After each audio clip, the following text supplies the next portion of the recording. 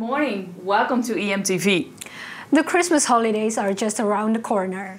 How do internationals spend their holidays? With family or on a deserted campus in lockdown. That is today's topic. But first, news. Police really want to intervene in Xior, a student apartment complex on the edge of campus Woudestein. Almost every week, policemen have to end a party over there. This video, for example, is from last Tuesday.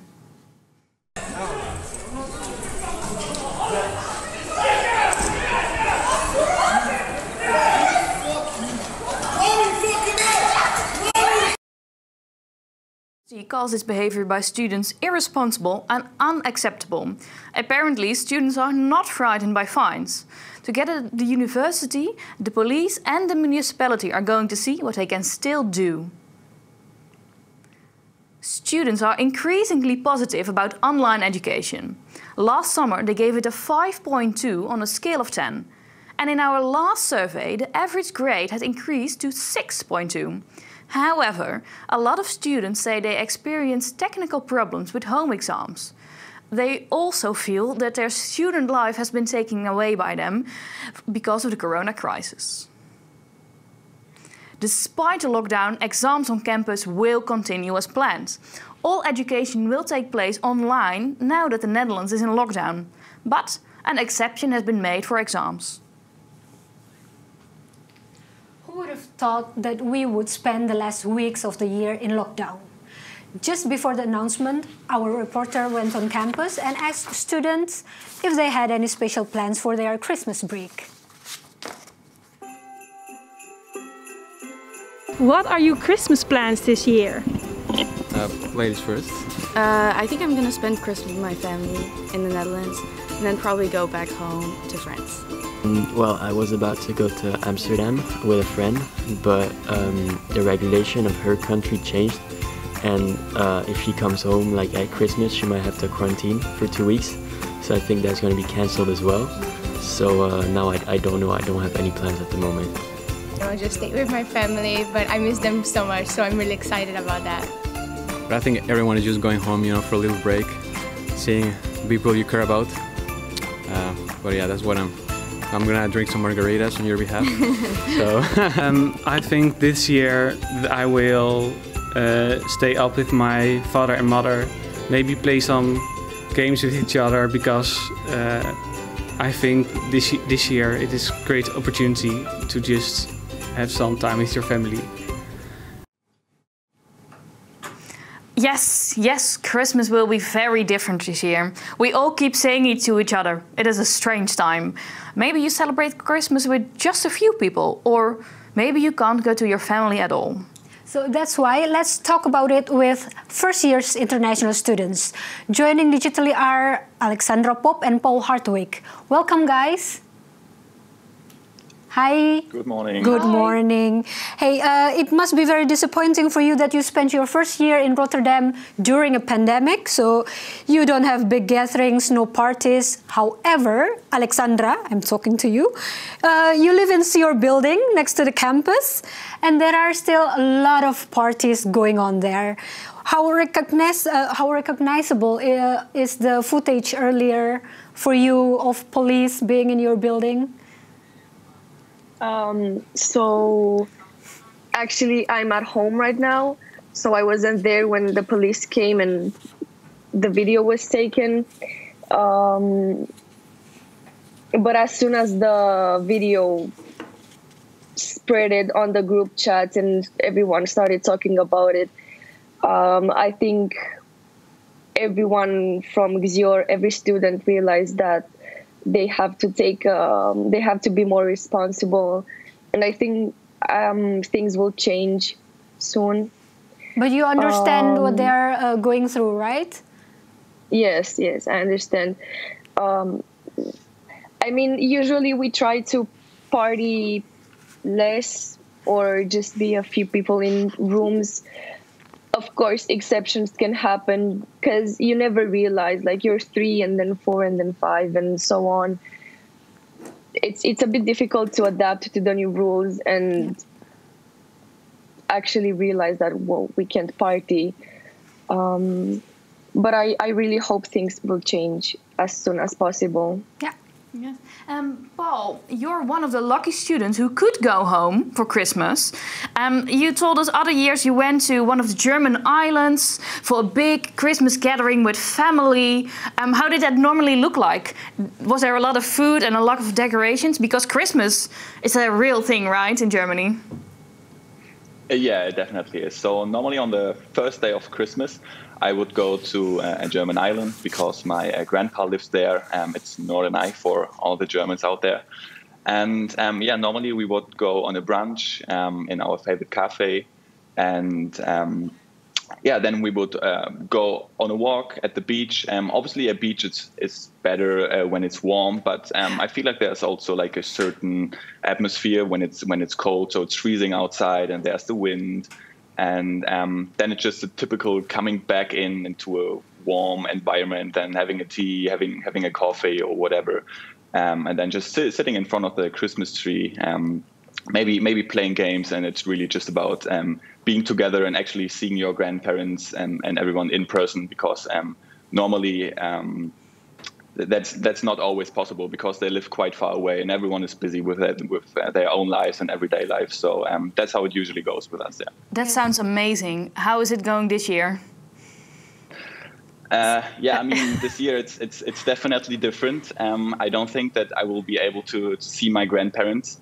Um, I mean, sending Christmas cards is also a good way to to let them know that they are still worth uh, the price of a of a stamp at least. Um, so yeah, we're definitely going to do that. Um, then we're gonna um, we're, we're gonna be be on the phones, still talk to each other, maybe send the um, send the um, presents with the post, and then it's it's still going to be a good Christmas for everyone. So, uh, Paul and uh, Alexandra, you are now in your homeland, but now we also have a student who stays in Rotterdam uh, online. Uh, Her name is Nur. Okay. Nur, are you still here? Yeah, I'm here. It's good to see you. Good morning. Good morning. So, Nur, uh, you're not going back to Madrid because you're afraid you cannot go back to Rotterdam. But why mm. are you so afraid? Because I don't. I wouldn't mind being stranded no. in Madrid. I know, I know, Madrid is beautiful, but um, well, I was lucky enough to come to Rotterdam in the summer and have the chance to see what Erasmus University really looks like. And well, people enjoying their lunch in Food Plaza, and also meeting other students for breakfast and going to the pavilion. I'm sorry for my Dutch accent. um, or gathering for picnics, I don't know, in Kralingserbos with people from all degrees. And also something that I really miss and I was really looking forward to was enjoying all our dinners with the team, like from Erasmus Tech Consulting. And, and those are things that um, really made me feel welcomed when I came here. And I can't wait to go back to it, especially because um, we uh, welcomed our consultants in September and we didn't have the chance yet to meet each other in person. And it is really hard to create that community feeling via Zoom calls. And we really want them to enjoy their time at AD Consulting. And we hope that from January onwards, we're going to be able to do that. But will you spend uh, Christmas alone or what's your plan? Um, well, I know that most students are flying back or have done so already, but that doesn't mean that the full city will leave the country, right? so luckily, um, I could meet some Dutch people that will stay here, and I'm sure that I will end up meeting someone else during Christmas. So how will my Christmas look like? Well, I don't really plan things in advance, so I'm just going to let life surprise me this time. And no, but I will definitely be practicing some sports, read a lot too. Um, I need to catch up with some books and also prepare the next project cycle with um, for Erasmus Tech Consulting. Yeah. So, mm, Alexandra, um, during your time here in Rotterdam, something, well, perhaps quite special happened. Your baby brother was born in Romania. How weird is it, Alexandra, to come back and suddenly have a baby brother in your house? Um, it's very weird very weird because when I left home, my mother was around three or four months pregnant, and um, I I haven't gotten to see her her glow her pregnancy. And then she just called me randomly one night and she was like, Yeah, I'm at the hospital right now because something happened and I'm gonna give birth.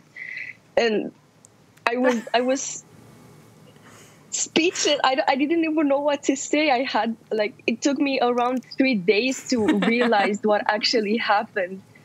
And it was very weird. I only got to meet him on online pictures and videos.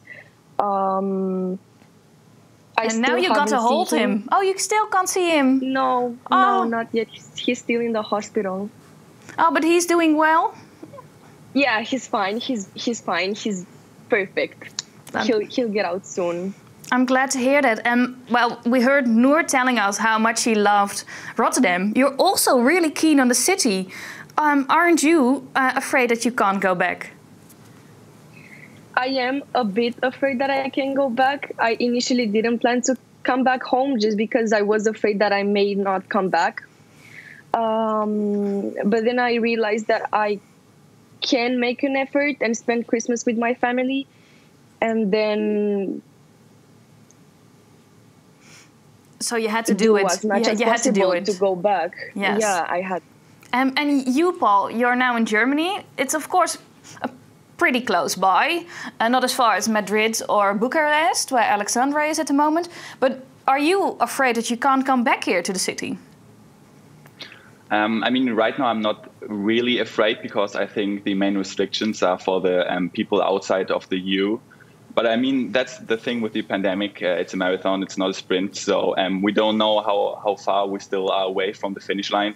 So, um, I mean, some people might already have like a needle underneath the Christmas tree. So um, we we're going to see how that it's going, um, how it's going with the with the vaccine. So I think for now it should be fine, but with the continuous change of regulations, you just never know. Yeah, and I'm going back to Nur. Uh, Nur, you join student clubs here and you're having a lot of fun. Do you have uh, any tips for students who feel lonely, what they can do?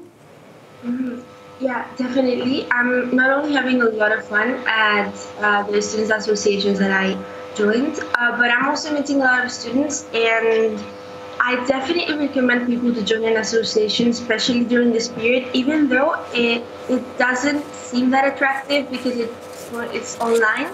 But it really helped me to, um, you know, get into that university environment and meet new people and learn new things. And I know that uh, Save Rotterdam um, for holidays has released this program called Holiday Buddy, and where if you're going to spend the Christmas alone or you would like to meet um, other people, that would be really nice. So I definitely recommend people to join a student association, especially the ones that are coming in January to, to campus, and also check out what Save Rotterdam is doing. Yes. Mm, thank you so much for not only sharing your tips but also joining us. And also, really thank you to Paul and Alexandra. I really wish you the best, all the best for the new year. And before we end our last show this year, these students want to send you their best wishes.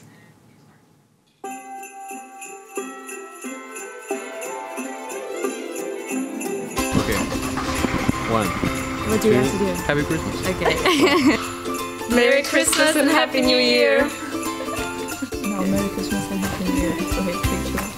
Happy Christmas. uh, well, Happy New Year. Merry Christmas for those celebrating it. Uh, take care and yeah, good luck.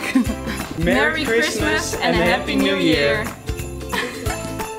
Wait, Wait, Can do it. Merry Christmas, everybody. Happy New Year. Uh, enjoy time with your family and stay safe. Okay. Merry, Merry Christmas and Happy New Year. Two, three. Happy, Happy Christmas. Christmas. See you next year. Hopefully. Thank you all for watching, whether you're going to celebrate Christmas, something different, or perhaps nothing at all. Hopefully you will find the time to recover from the past year. And to get a fresh start of 2021, we at EM are going to take it easy for a few weeks. We'll be back in January, but there is still plenty to read and to watch on our website erasmusmagazine.nl. Hope to see you next year. Merry Christmas!